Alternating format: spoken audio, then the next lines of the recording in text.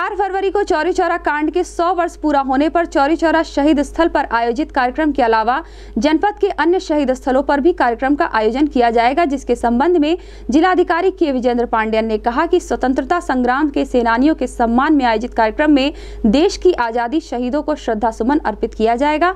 जिलाधिकारी ने कहा कि चौरी चौरा कांड के शहीदों के साथ जनपद के शहीदों के परिजनों को पेंशन की सुविधा उपलब्ध कराने के लिए एक कमेटी का गठन किया गया है, जिसके द्वारा जाँच कर छूटे हुए पात्र लाभार्थियों को पेंशन की सुविधा दी जाएगी। जिलाधिकारी के विजेंद्र पांडेयन ने लोगों से अपील किया है कि कार्यक्रम में अपनी सहभागिता करें और अपने बच्चों को भी लाएँ, जिससे उन्हें देश की आज़ादी का इतिहास पता चल सके।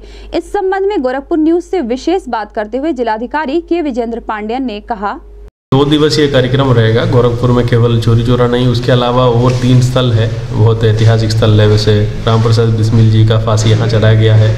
धोरिया कला में बहुत सारे किसान मारा गए हैं उन्नीस सौ बयालीस में। और उसके अलावा जो यहाँ बंधु सिंह जी का है, उनको भी फांसी चढ़ाया गया है। ये चारों जगह हम लोग भव्य कार्यक्रम मनाएँगे। दो दिन में तो माननीय प्रधानमंत्री जी का संबोधन से शुरू होगा कार्यक्रम। फिर तो अगले दिन भी तो इस पर लोकल स्थानीय कलाकार और विभिन्न बच्चे और खेल कूद में पार्टिसिपेट करने वाले बच्चे खिलाड़ी लोग, सब लोग शामिल होते हुए बढ़िया अच्छा कार्यक्रम होगा।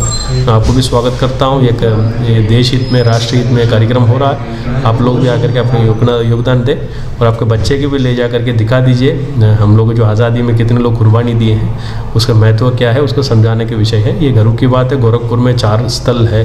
यहाँ बहुत लोगों को नहीं पता है इसके बारे में। आप आकर के आप भी आपको जानकारी बढ़ा लीजिए। जी जी।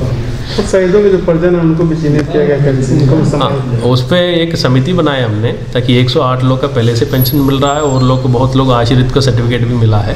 तो इस पर यदि कोई लोग छूटे हुए तो एडीएम प्रशासन और एसडीएम चोरी चोरा और तहसीलदार चोरी चोरा का संपर्क कर सकते हैं हमें भी संपर्क कर सकते हैं।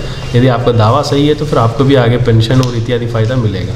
और किसी को हम छोड़ने नहीं चाहते हैं बट गलत आदमी के भी चेंज नहीं होना है। उसी के हिसाब से हम लोग सतर्क है, उसका जाँच पड़ताल भी चल रहा है।